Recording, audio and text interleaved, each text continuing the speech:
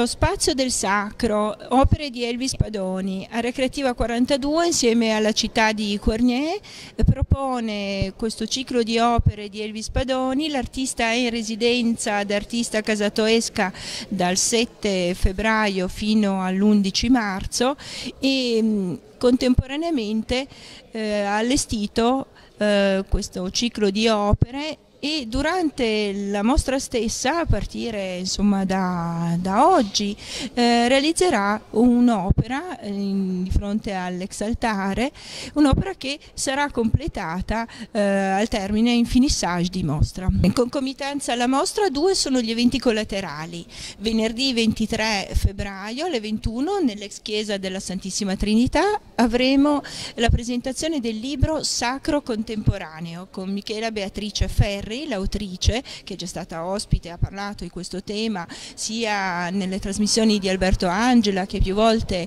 invitata a, discutere del tema dell'arte sacra contemporanea eh, in, in, diversi ambiti, naturalmente anche al Vaticano, e mh, parlerà, dialogherà con Elvis Padoni su, sul tema appunto sacro contemporaneo. Dopodiché il 4 marzo la giornata intera è dedicata ad incontrare l'artista artista ci sarà un workshop fuori forma, il titolo, che comincerà al mattino e si prolungherà anche nel pomeriggio. Le iscrizioni possono essere fatte eh, tramite il sito www.areacreativa42.com. Questa mostra presenta una selezione di dipinti che ho realizzato negli ultimi anni che hanno come filo rosso, come si può vincere anche dal titolo, un rapporto con il tema del sacro da due punti di vista. Il primo proprio di contenuto, infatti la maggior parte dei dipinti sono ripresentazioni in chiave moderna di pittura contemporanea, almeno questo è il mio tentativo, di episodi biblici, di storie di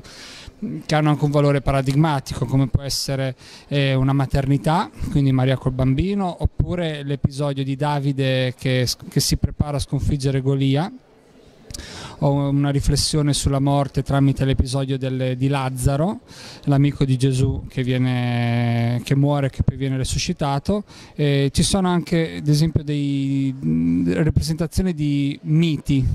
che però vengono in qualche modo avvicinati all'ambiente del sacro e dell'aspetto anche più cristiano diciamo, delle, del messaggio. E la seconda caratteristica che unisce questi quadri e che si unisce anche all'idea di sacro è un uso abbondante nelle mie composizioni de, un, dello spazio vuoto, dello spazio bianco che si va così un po' a contrapporre all'uso della figura che nella mia pittura è molto, è molto tradizionale. d'altro canto però questo, questo, vuoto, questo bianco, questa luce eh, rappresenta proprio una manifestazione del sacro nella pittura, non tramite la figurazione di elementi eh, appunto antropomorfi della divinità, ma con questa sorta di, di spazio ah, che si annulla, ma nell'annullarsi in qualche modo cerca di, di ribaltarsi nel suo posto. L'opera che andrò a realizzare durante la mostra sarà una grande tela sul, su San Paolo che viene appunto folgorato sulla via di Damasco